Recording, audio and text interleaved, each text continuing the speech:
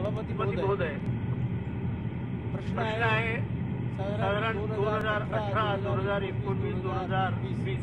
या काळातलं शेततळ्याचं जे अनुदान आहे त्या सत्र्या बोड्यांना म्हणजे शेततळ्या ज्याला किंवा शेततळी म्हणू शकतो आपण त्या शेततळ्यांच्या शेतकऱ्यांना मिळालं नाही. हे साधारण लक्षात आलं. एकतीस एक दोन हजार बावीस. आणि तोपर्यंत हे पैसे दिले गेले नव्हते. शेतकऱ्यांना दोन वर्ष मिळवल्या गेलेलं होतं अशा काळामध्ये हे उत्तर जे दिलं गेलं हे पूर्णतः दिशाभूल करणारं उत्तर आहे.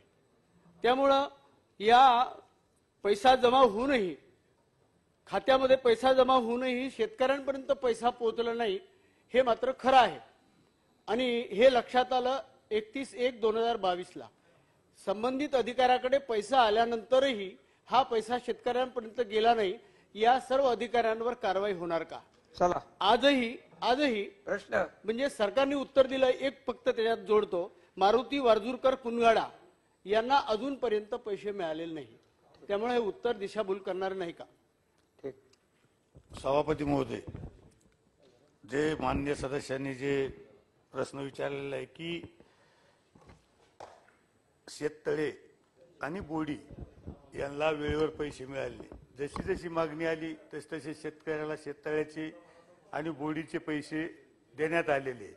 राहिला विषय की आपला एक शेतकरी मारुती काशीनाथ वारजूरकर तर एक शेतकऱ्याचे पैसे देणं बाकी आहे. ते सुद्धा आपल्या एकतीस मार्चच्या आत त्या शेतकऱ्याला पैसे मिळतील असं मी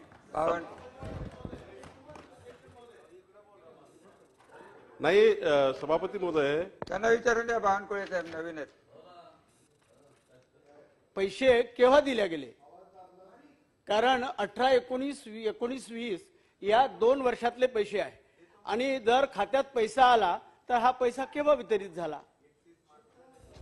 मी काय सांगितलं? मान्य सदस्यांनी जे विचारले की पैसे कधी दिले? जशी जशी मागणी आली तस तसे पैसे देण्यात आलेले काय? चला बावनकुळे कोणाचेही शिल्लक राहिलेले फक्त एक शेतकऱ्याचे राहिले ते सुद्धा एकतीस मार्च पर्यंत दिले जातील. सभापती महोदय माननीय मंत्री महोदय आपल्याला अ, मंत्री महोदय सभापती महोदय ही माझ्याकडे संपूर्ण रेकॉर्ड आणि बातमी आहे सभापती महोदय तीन जानेवारीला जेव्हा ही बातमी वृत्तपत्रात छापून आली तेव्हा तिथल्या कृषी अधिकाऱ्यांनी या शेतकऱ्याच्या पैशाचं वाटप केलं. अडीच वर्ष सभापती महोदय शेतकरी पाय झिजवत होते. सरकारकडनं पैसे गेले का? तर गेले होते. मी सरकारचा दोष नाही आहे त्या कृषी अधिकाऱ्यांनी त्या शेतकऱ्यांना वेगवेगळ्या प्रकारची मागणी केली. तेहतीस हजार रुपये चौपन्न हजार रुपये शेतकऱ्यांना मिळणार होते फक्त बोडीचे आणि शेततळ्याचे. सभापती महोदय बातमी आल्यावर आणि विधान परिषदेत प्रश्न लागल्यानंतर त्यांना पैसे वाटप झाले.